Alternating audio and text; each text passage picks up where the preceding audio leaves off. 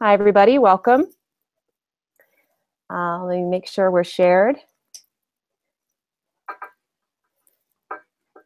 So I want to share your screen here, Cash.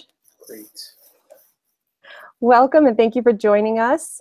We are about to start the Emporium Model, Introduction to the Emporium Model, presented by Cash Clifton. This is our first annual virtual conference, 2017. As we watch people start getting onto the seminar, we ask that you go to the tinyurl.com, seen on the first slide here on your screen. It's tinyurl.com backslash DELTVC2017.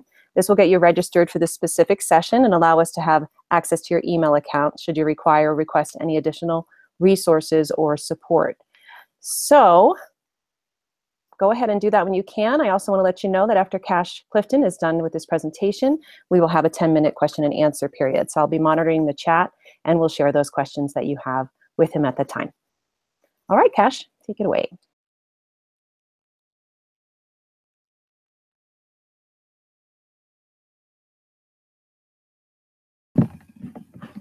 All right. Can you hear me now, Faith?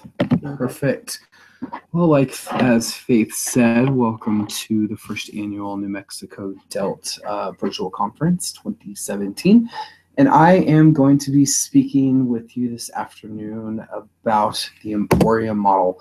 Um, the Emporium model is a model of teaching mathematics.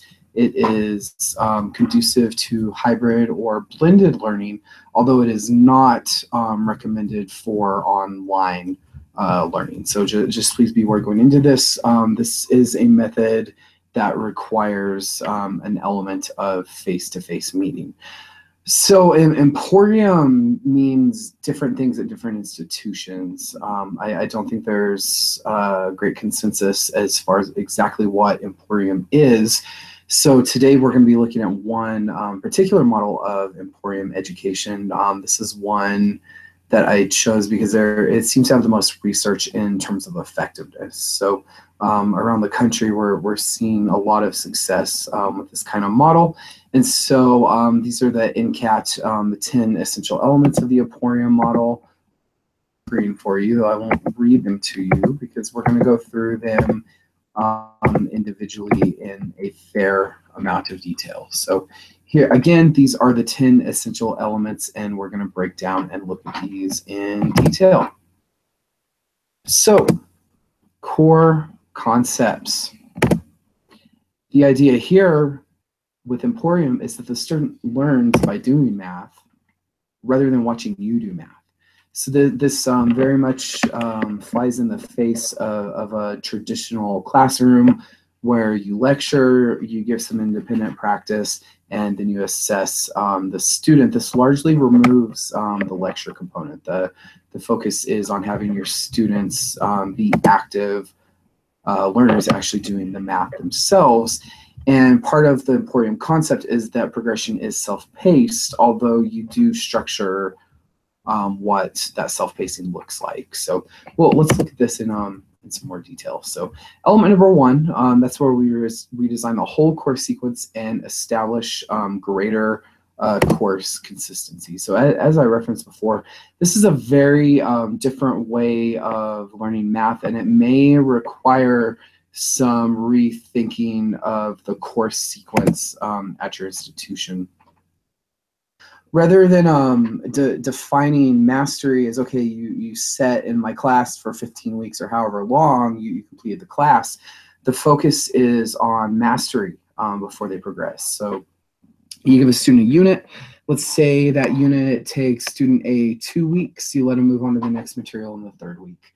Um, if student B needs to take 20 weeks on the material, you keep them in that material for 20 weeks and you move them on um, to the next unit week 21. So it's, it's very much this idea of you don't move forward until you've mastered the current skill set, which I, I, I, think is, is very good for a math class.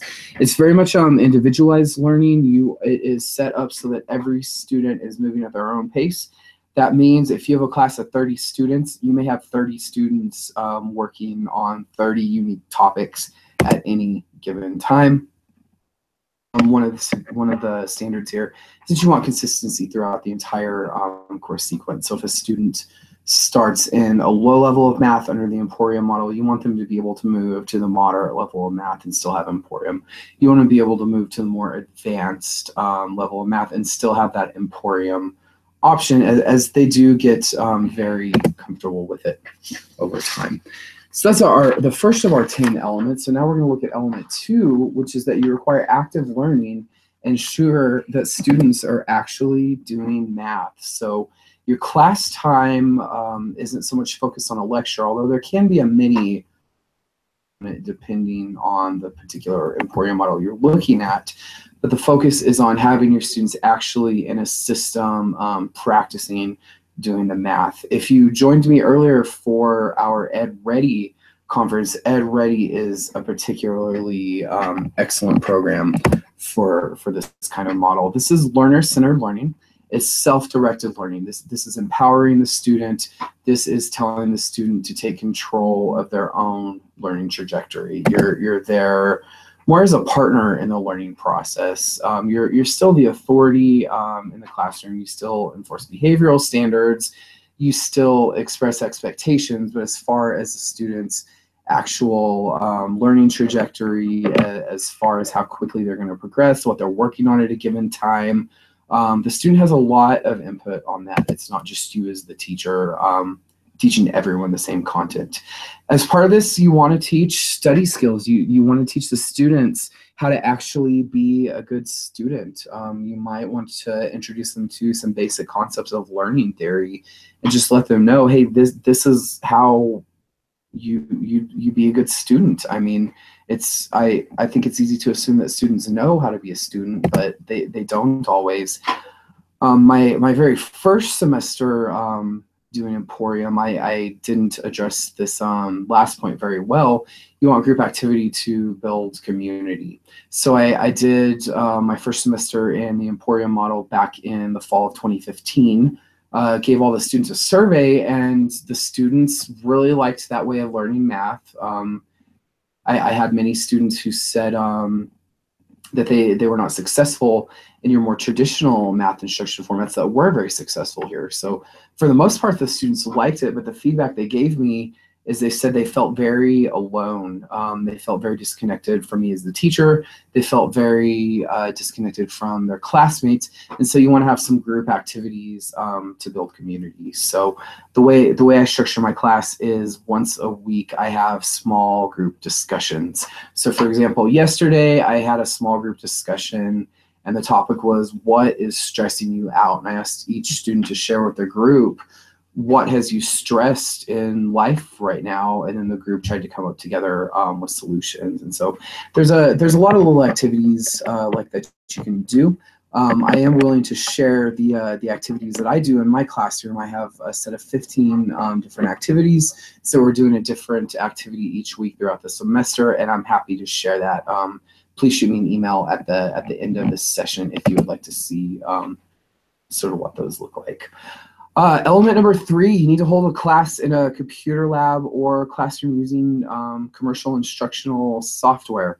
So this will not work in a traditional uh, classroom. Your students need to have access to some sort of device, whether it's a computer, a tablet, um, something, and you need some sort of computer software um, to help you out with that. So I recommend uh, NMDELT Ready. So that's nmdelt.edready.org, and we do have training available on that if you're not familiar with it. Um, Plato is another program that, that could work well for this type of model, and that is available uh, free of charge through NMDELT to those programs that are HED funded. There's also, in terms of a free program, uh, Khan Academy program, although I personally am a bit partial to Ed Ready. There are also things available for pay. Um, they're they're quite pricey, but but they are good programs. Um, ALEKS and Connect Math, those are McGraw-Hill products, and MyMathLab is a Pearson product. If you are going to look at paying for some sort of program, I um I, I am slightly more fond of ALEKS than MyMathLab for these purposes. Although keep in mind, Ed Ready is probably um, your best bet. It's it's high quality in terms of the instruction provided, and hey, it's free to you. Who who doesn't like free? Element number four, you want to modularize um, your course materials and your course structure. So you, so you want to have kind of breaks um, in the material. Maybe you do um, some sort of testing. So you have um, you have online tutorials in there. Um, this is essentially so that students can self-teach themselves uh, to some extent. So lo looking at Ed Ready, um, there are videos in there that can help the student learn. There are uh, text instructions, um, little diagrams help the student learn. And you want to have that piece in there where, where the program is available to help the student learn the material. Now, is it only the computer that does the teaching? Um, by by no means. Um, you still, uh, you as the instructor, you still go around and you provide instruction. You may provide group mini lectures, and it's essentially what I tell my students is try the lesson in Ed Ready. Working for you, raise your hand and call me over, and then we can go over um, whatever the lesson is one on one. This is not uh, conducive to pen and paper learning. So if, if you're thinking in terms of um, have students work from a textbook, uh, something more traditional like that, um, Emporium model is probably not the way to go. And don't get me wrong, I, I don't want to trash the, the traditional teaching methods. I, I think they're still um, very effective, but but in the context of, of Emporium, um, pen and paper learning is, is not going to be the way to go. That said, as the students are working through our program, um, I do suggest you have them take notes. And, and as part of this process, you're teaching them um, note-taking skills. Uh, word of caution is don't try to cram in a full lecture. Don't try to get up in front of your students and talk for 45 minutes. Keep in mind the focus here is on having them actually in the math, working on the material, getting in there, struggling, missing problems, and learning from that kind of thing. Uh, mini lectures, I, I, know several teachers who like to use uh, mini lectures in class. Um, I'm, I'm, I'm a bit sparing with the mini lectures. Uh, what I'll do is if I notice I have several students on the same topic, if I have several students asking the same question, I'll, I'll get the whole group's attention. I'll say, hey, I'm going to do a little lecture on this over here at the board. Come join me if you want to. And I make that entirely optional. Um, I know other instructors that require the mini lectures, and so that comes down somewhat to your teaching style. The challenge um, related to requiring a lecture is if you have every single student in your classroom working on different material, that, that's going to be kind of difficult. Um, you're going to have a group of students that um, you'd be lecturing right to their level, but you're going to have a group that are behind. And so your lecture's over their head. You're also going to have groups uh, that are ahead and they're bored because they already know the material. So so be um be be careful about how how you use those mini lectures if you go forward to it. And class time should not be spent um, going over homework. So you still have homework uh, in this model. So what I do in my classes is I require the students to meet in class uh, face to face for two and a half hours a week, and then I require a minimum of three hours per week outside of class. So I should be seeing five and a half hours uh, per week spent in Ed Ready. If students have a hard time, if they struggle on a topic in the homework, um, I am willing to go over that with them, but this is on a this is a one-on-one -on -one basis. It's not standing in front of the class um, taking homework questions like um, like you would in a more um, traditional setting. And you do want to have the option to complete uh, multiple courses uh, per semester, and I put courses there in quotation marks. So what we've done in NMDELT Ed Ready is we have created curriculum that aligns with the NRS levels. So we have six different levels um, in there. And so for example, if a student completes NRS level one math, um, within five weeks. You know, don't don't say, oh, you have to wait until the next semester or the next round of courses. Get them onto the next level um, right away, and and just let them work work as far forward. Um, again, this is self-paced uh, learning. Um, so the fifth element here is requiring um, mastery learning. So you want to have frequent um, assessment to identify deficiencies. Uh, Ed Ready is is nice because you um, you start out, you give the student an assessment, it identifies the math they know, it identifies the math they don't know, and it builds them a customized learning path um, based on what they're ready to learn next. As part of the Emporium model, you want to frequently reassess. So the way we set up Ed Ready is that as you move a student on to the next NRS level of math, there's some review built in there. It's going to go back, it's going to retest them. And if they forgot, for example, how to add fractions, even if they mastered it the first time around, the second time around, that may pop back up if they forgot it. It's it's really about filling in those those gaps on learning. Um, you want to have some sort of adaptive um, assessment built in, and that that's one area where where EdReady um, isn't quite as strong as I would like it to be yet. But the idea here is this adaptive assessment to identify, okay, this is what you know. We don't need to spend our time working on what you already know. This is what you don't know. We really want to focus on, on what you need to learn and and really remove that um that busy work component. And I've I've found if if you introduce the concept to students like that, they they their ears kind of perk up in the idea of oh oh hey I, I don't have to do all the busy work and relearn these things um, that I already know. As already uh, referenced, we have built some curriculum uh, that aligns with the CCRS and NRS standards. Uh, the Ed Ready webinar that I did earlier um, this morning. Um, we went over that in a little bit more detail. If anybody would like the link to see what that curriculum looks like, uh, please shoot me an email. I'd, I'd be happy to um, to share it with you. We, we just um, have it saved in Google Sheets and I can, I can share that link with you. There is no moving on to the next module uh, without demonstrating mastery. So a student goes through, they complete NRS level one, and then they take some sort of assessment you need to have some sort of standard identified in terms of you have to score this on the assessment to be able to move forward. So I've set it to 75%. Um, if the student cannot get 75% on the assessment, I say you don't know, you need to go back in, you need to do another initial diagnostic assessment, and you need to work through this material again. The student gets at least a 76%, that's where I let them move on to the next round of material now, 76%, you, you may be thinking that that seems like sort of a low standard, but keep in mind that 24% that they may have missed is going to be reassessed in your next module. So, so there, there's that repetition um, built in. So even if they miss a little bit in RS level one, they're going to see it again in, in RS level two. So again, um, the student cannot move forward to next module until they demonstrate mastery. And that's um, that's in my opinion a, a, big piece of why this emporium model is, is so successful. You, you, think of how math builds on itself. This is designed so that no you you can't move on to step two unless you have that nice solid foundation of, of step one in place. And it's also going back to check okay well you you mastered this piece from step one but now you've forgotten it let's go back and go over it again. That's that's where the, this individualized learning is um, is really great. So typically, um, mastery is defined as 75% to 90% um, of the material. That's sort of um, the the standard for this Emporium model. Again, I I go more for 75 you want to you want to build in ongoing assessment and you want to build in prompt feedback. You want that immediate um, feedback. This is one thing that i consider an advantage over over traditional uh, lecture classrooms. A traditional lecture classroom the student turns in the homework time to grade the homework.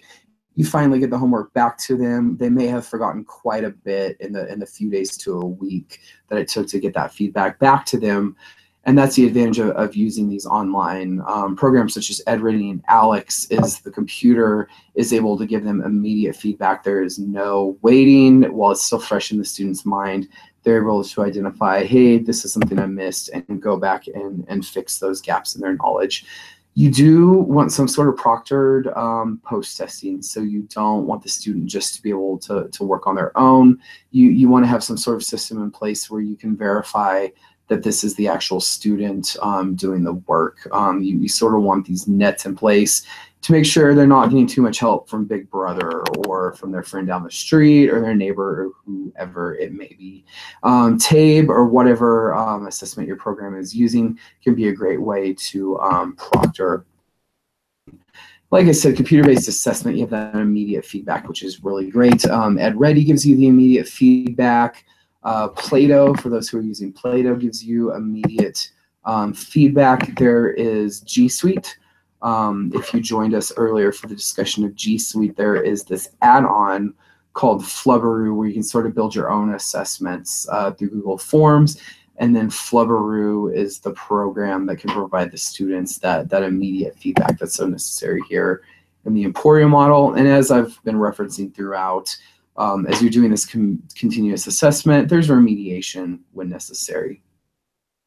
It's, it's interesting to me how students can get can move on to something advanced like like quadratic equations. And when they get in they're working the quadratic equations they may realize oh i forgot how to add fractions.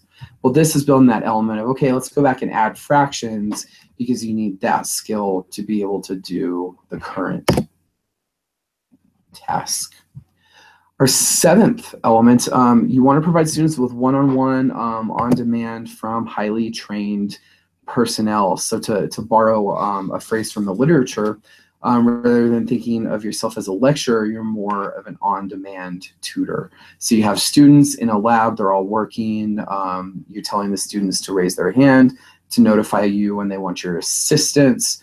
Um, and sometimes you have to be kind of pushy with your tutoring. Sometimes I'll see a student stuck on the same topic, the same topic. I see they keep missing things. And that's where I mm-hmm. may go up and tap them on the shoulder and say, hey, I, I have an alternate way of doing that. Would you like to see it? Hey, I noticed you've been on that for a few minutes. Can I help you out? Do you want to work through one together? It's difficult for students to, to hide in the corner um, so to speak. So you're very much um, working there as a tutor. You, you want to have um, tutors in class and out of class if your program is designed for that. Um, I've had better luck in classes where I can have a tutor um, physically in the room with me. I've found there are some students who are more comfortable going to the teacher for help. There's other students who are more comfortable um, going to the tutor for help. That also gets them start developing a relationship with the tutors so that hopefully they're more comfortable um, seeking out that tutor on their own outside of class. Um, again, this is active learning. You really want to encourage the students to speak up. You really want to encourage them to not um, sit there and suffer in silence because some of them will um, you know, make them feel like part of a learning community. I, I do that with the discussions um, that I referenced earlier, but really try to build um, that collaboration. So I'll, I'll, tell you guys what the discussions. Usually the first week or two, I, I feel like a dentist um, trying to pull people's teeth without any kind of numbing. They're, they're very, very resistant to the group discussions um, the first couple of weeks by about the eighth or ninth week, I have the opposite problem. I'm struggling to reel the discussions in. They're having a really great discussion of study skills. They're having a really great discussion of um, stressors. They're having a really good discussion about their support system, and I have to reel them in and say, okay, it's it's time to move um, move on back to the math. But an advantage of of that learning community as as they get to know each other is I've noticed students will assist each other quite a bit. Um, I'll see student A who really struggled on a topic for a long time, but they finally got it. If they notice that student B is struggling with the same thing, maybe I'm clear across the room helping somebody out, they'll jump on and help the student. And and we all know how that how that reinforces um, long-term memory to, to actually teach the material to someone else. So cre creating that creating that community I, I think is so important. And you just don't want your students to feel like they're stuck on a computer um, completely isolated from all humanity. Eighth element, you want to ensure sufficient time on task, and this one can be a bit of a challenge. As I said earlier, um, I require three hours per week logged in the system uh, working outside of class, and that is quite a battle um, with many of my students. I tend to just make those conversations. I I pull them out into the hallway. I have them come uh, sit down with me in my office and say, hey, I noticed you didn't log in outside of class. What's going on with that? What's this plan to get you move forward and, really teaching the student that, that it's it's about that persistent. It's it's persistence. It's um it, it's not about just being this this great genius in in the subject. Um, so you have the the group and the individual discussion of study habits. So we have the group activities I also require students to meet with me uh, one-on-one a couple of times per semester. And when we have those one-on-one meetings, so I say, hey, what are your study habits like and, and that kind of thing. And those um those lead to some very productive um conversations for me. Depending on the program you use, you can um, get it to display charts that uh that show you uh, study habits students. And my students really uh, tend to respond well to this. They see, oh, look, I had a gap right there, right in log into the system for six days. And that's when I can look at them and say, well, and, and what happened, you know, during that gap? And they, they typically tell me, well, I, I forgot quite a bit. And then I, I can steer the conversation, say, okay, well, let's, let's make a plan for more consistency. I mean, do you, do you think, do you want to set a goal of logging in every day? Do you want to set a goal of logging in four days a week? I mean, how, how do you want to structure this? And that's that's really um, getting the student to take take charge of, of their own learning and, and be more active in that process.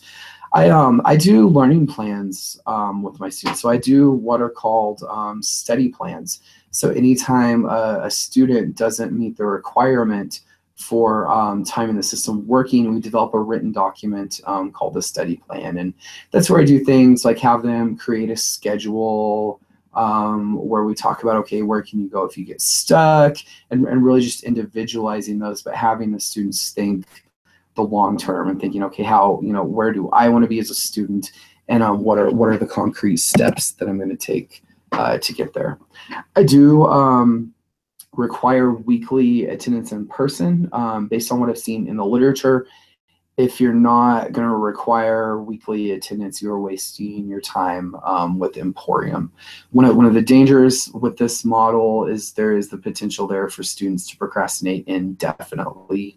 It's not a, a standard class where I'm saying, okay, this assignment is due on this date. No, they're just more in the system um, working, and that required weekly attendance uh, gives you a chance to check in with students on those things.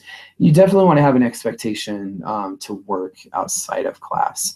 Now, here in New Mexico, we always um, have students having access to technology, um, students having access to internet. Even if they do have access to internet, they're, um, they're, they may have a very, very um, slow connection. I, I know my parents are in a rural eastern New Mexico, and the, the best internet they can get out there is equivalent to dial up. So I, I know we have a lot of students in these areas. Um, there are some options where they can download um, material. So there are some things that you can do, um, but you definitely want to be talking with the students about what is their plan. Um, and part of that plan may require having open lab hours at your facility where students can come in and have access to, to computers and, and devices and, and the internet at your facility to, um, to work outside of class.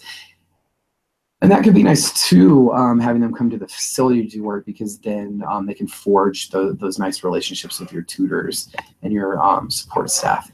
You want to coach your students on time management skills and and you know speak to the elephant in the room that this this model allows a lot of uh, potential for procrastinating. I um I tend to have my students do time management through Google Calendar. Um, they can go in there, they can color code things, they can set themselves reminders you know have them sit down and say oh, okay what what are your obligations to your family? And and when are you going to do those obligations? And what are your obligations to yourself? And when, when are you going to do this? Okay now where does math fit in here? Where can you commit to working on math? At what time? Where are you going to do it? What do you need for help um, you want to monitor uh, student progress and intervene when necessary so I like to do a suggested schedule. So for example, if um, I'm starting with a low level class, I'm putting a student in NRS level one, I'm gonna have some kind of schedule as far as, okay, you need to try to master this many topics per week so that you can finish NRS level one in the class. And I and I really try to be straightforward and say, okay, this this is the minimum pace you need to keep. This is the minimum schedule. And I really encourage them to go faster, but sometimes they do go slower. But you you definitely want to um, be, be setting those expectations in terms of I, I do expect to, expect to see progression. I do expect you to be um, self-monitoring how you're moving forward. You want to have um, you want to have constructive assessment to help you um, when to intervene. So for example, sometimes I'll, I'll see, I'll, I'll use ALEKS for this example. Um, I'll see a student that, that I, I, look at their progress and they're mastering 10 topics per hour, which is, I, I, mean, that's almost unheard of. They're, they're getting in there, they're doing topics, they're never missing a topic, it's just bam, bam, bam, bam, knocking them out. I give a student a proctor test and they get 10% on the material that they just knocked out like it was nothing that tells me they're probably getting too much outside help. That tells me something is not right here. And you just want to have these systems in place to recognize when students are either, in some cases, they're, they're trying to cheat the system, or in other cases, maybe they just don't realize that they aren't doing enough of the work themselves. So definitely have these these things in in um, in place. You you want to have consistent contact with your students. So I, I have my students come to class twice per week. I like that consistent contact. I suggest at a minimum that you want to have your students physically in class at least once per week. That way you can be checking in on them. Um, and when you when you have that that face-to-face contact, that's when you want to follow up on the goal setting activities. You you create these nice study plans, you set these nice goals, you don't want it to be just some piece of paper that they stick in a file somewhere and never look at it again. You you don't want it to be something that just goes in their drive, um, never be opened again. You want to you want to follow up, say, hey, how, how are you doing um, towards towards reaching those goals? And recognizing when students are just flat out stuck. Um, I, I don't think this model works for all students. I I, I think you have to have a, a certain degree of intrinsic motivation to be able to work on your own there. And so recognizing when, when a student is just really floundering and then talking about what kind of options um, you might have uh, for those students and explicitly state what is due each week. Um, so for my class, I don't make a minimum number of topics due. I don't want to pressure the students to feel to move too quickly if they feel stuck on something. So what's due each week for my class is five and a half hours per week um, time on task in the system. So just ha having those minimum expectations um, very, very clear. You want to measure um, learning completion and cost. This one I'll go through pretty quickly. A, a lot of this is more um, and teachers, but you know, how can you make your class better. I give my students an anonymous survey. At the end of the semester, I give my students an anonymous survey in the middle of the semester. And I just want to know, hey, how are we doing? How is the class working? What is the class like um, from your perspective? And, and, for the most part, I, I get very, very um, in, insightful answers. And I, I go back to my students after the mid-semester survey and I say, hey, based on the survey, I found out that you guys don't like this. I found out this isn't working for you guys. So here's how I'm going to try it differently. Does anybody have any ideas of something you think might work better? Again, the students take that ownership of, of their learning process. Um, you know, review the data from the learning software. You're, you're probably going to be doing this uh, for reporting purposes anyway, but kind of what, what sort of trends do you see? Do you see certain topics a lot of students are getting stuck on? If so, that might be a good time to do mini a mini lecture on that topic. You know, discuss the assessment results within um, your department, of course, make data informed decisions. I think that's all pretty standard to um, to good teaching practice. So, so those are the 10 essential elements um, for this Emporium model. Now I want to look at what does the teacher actually do? Well, as the teacher, you're there to guide the students. You're there to help them make these plans. You're there to help them when they get stuck. You're there to help them recognize um, you help the students avoid common pitfalls. Um, sometimes they go around and say, as you go through this, you'll start to see consistent mistakes that students are making and help them say, hey, you know, I see a lot of students do this in this section, you know, try to be mindful of not doing that. Or I see uh, one conversation I had this week is I said, okay, it's the middle of the semester. I tend to see motivation in my classes drop this time of the semester, let, let's talk about the elephant in the room and, and hopefully avoid those sort of pitfalls. Um, uh, again, to, bar to borrow um, the uh, somebody else's uh, wording, think of yourself as a tutor in the trenches, a tutor on the ground helping the students with this math material and encourage them to work outside of class. Um, what can you do to get your students motivated and using their time outside of class to actually work on the material. Um, you are going to facilitate and moderate the assessment. Again, you need some sort of assessment piece built in here that is uh, uh, proctored. You want to prepare relevant discussion topics, um, a lot of different directions you can take that in. You want to prepare mini lectures, although, although keep in mind um, you're using those very, very sparingly.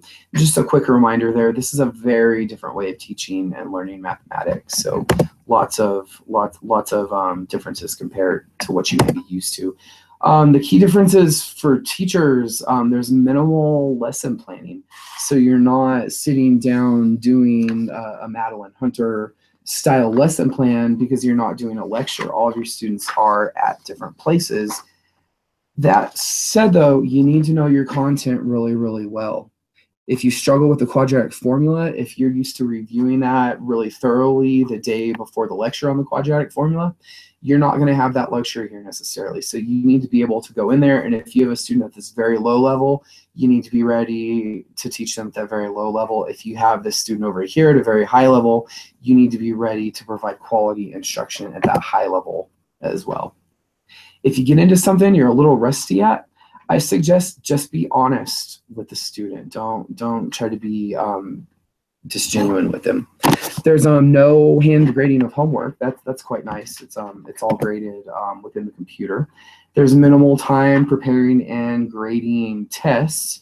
Um, if you're using EdReady, those are going to be graded for you automatically. Um, tutors in class, if your program can swing it, that's really nice um, although that can that can introduce some challenges to the classroom dynamic as well. Having both the teacher um, and the tutor in there, you you need to have some sort of boundary um, system in place as far as what's the teacher's role as opposed to what's the um, tutor's role. You want to be sure you're tracking participation and, and you know talking to those students who aren't logging in outside of class and what can you do and you want to ensure student computer sure they understand the very basics of using a mouse, of using a keyboard, of typing their answer in the answer section, which I think is a quite usable skill considering um, most programs are doing um, the, the HSE test on computer. So that'll be one less thing for the student to stress about when it comes time to actually take the test. So how is this different for students? And I want to think my students over the last couple of years because I have been asking them, how is this different from your perspective? So a lot of what I'm about to share with you is from the actual student's mouth. Um, this is computer-based assessment and learning. That may be very, very different um, to your students, especially your non-traditional populations. There's no faking it. Um, I think a lot of students are were in the habit in high school of going to math class, um, avoiding the word problems. Well, it's okay. I can still get a B and skip all the word problems. No, that's that that's not an option anymore. Um, as they go through the modules, as they work towards testing, they they they need to do all of it, and and hopefully in the end that that's going to help them so that they don't have these gaps in their knowledge. The students are accountable. Um, they're accountable to themselves because because of the self-paced format. It's a very active process they're accountable um, to the instructor as, as, you have these conversations about how they're progressing. But th this is an interesting one that my students pointed out. They um they told me they feel more accountable to their peers. So as we have these group discussions or, of what are your stressors and what are your goals, apparently they will hold each other's feet to the fire and follow up with one another and say, hey, how are you doing towards your goal? You said, you mentioned to me after class last week that, that you were going to put all this time in EdReady. Did you do it? So that that was one thing that, that really surprised me from my students' perspectives. They they feel more accountable to each other. Um, students may not be used to active learning. They, they may be used to at a desk, having the teacher dump some knowledge in their head, and then being on their way. Well, that is absolutely not what happens in here. It can be different for students to uh, discuss success skills. Um, so they may have had teachers get up and lecture about success skills. They may have been to workshops learning about success skills. But in this case, they're actually talking to one another about success skills. They're actually telling you as the teacher about success skills. And, and students tell me that, that that feels very foreign um, their study habits are tracked. It, it's pretty frequent. I, I look at a student and I'll see they haven't really worked outside of class. So they do their two and a half hours in class. They did half an hour um, outside of class for a total of three hours for the week. So I pull them outside of class and I say, hey, I see you didn't meet um, the requirement for time in the system and oftentimes they'll look at me and say what no i i worked my rear off i worked so hard i bet i put 17 hours into the system and i can pull it up and, and no, no, no, you didn't. And one of two things I, I think is happening there. Either they're trying to pull my leg.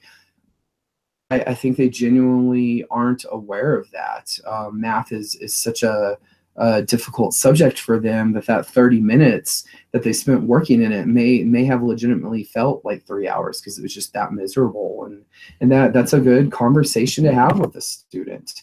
Um, and one one thing that that really surprised me is this idea and, and keep in mind this is for my students that the sky is the limit. If i want to go through three levels of math in 15 weeks man i can do it. Um, we had a student a couple of weeks ago concerned that she was spending too much time in the program that she was going to get in trouble and no no that that is absolutely what we encourage and, and so you will have those students that, that spend you know 20 30 hours a week in the program just because they realize, hey, there there are no um, stop signs in your path. So that is my presentation. Emporium involves a lot uh, more than I can possibly cover in 40 minutes here. So Faith, do we have any questions? We did have a few comments. Um, just to go back to the first part, Tina had shared that Sal Khan is a partner with NROC and with EdReady. So if that's the curriculum tool that you use with an Emporium model, you may see some of his videos in the EdReady. And there was um, generated a lot of excitement in the chat around Fantastic. that. And then um, Tina also mentioned that some of the EdReady videos have Spanish captions and that although more translations are needed uh, and may come in the future, um, that's the only option. But just to know that that's an option for our students that would benefit from that.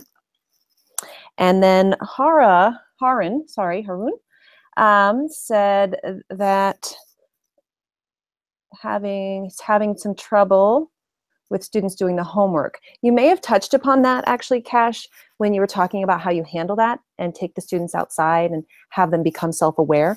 But if you have anything to add for Haroon, that might be helpful.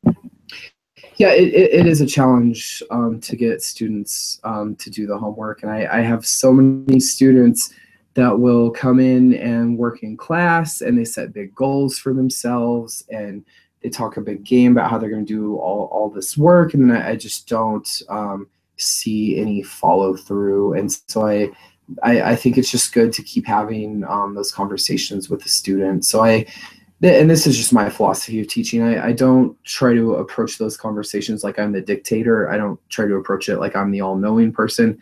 I just sit them down and say, "Hey, I, I see that that you're still class, and and you know try to try to get the students to commit to. So so what are your goals here? What you know when when do you want to test for the HSE? You know how how far do you want to go in math, and and how can we come up with a um with with a plan to to get you there, but to to, to be for perfectly um, frank, there there are a lot of cases where it feels like I am beating my head um, up against a brick wall and, and, getting nowhere. But but just, just continuing to have those conversations and then um, just just just stick with it. It it definitely is a challenge. Okay, thank you so much. Um, there was another comment uh, just to share with you. It wasn't so much a question, but Barb was noting that this could be really helpful in workshop math settings, and especially if it's a multi-level group is what Tina had added. So some good conversations in the chat going on there. Um, I had a question actually.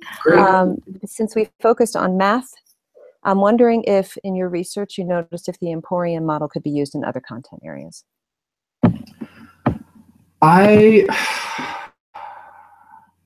I'm hesitant in terms of in terms of using it in other um, in other content areas. Um, I know there there have been uh, I, have come across some programs where, where they use it in um, reading and writing um, kind of classes, but I'm not as familiar with those um, programs they use.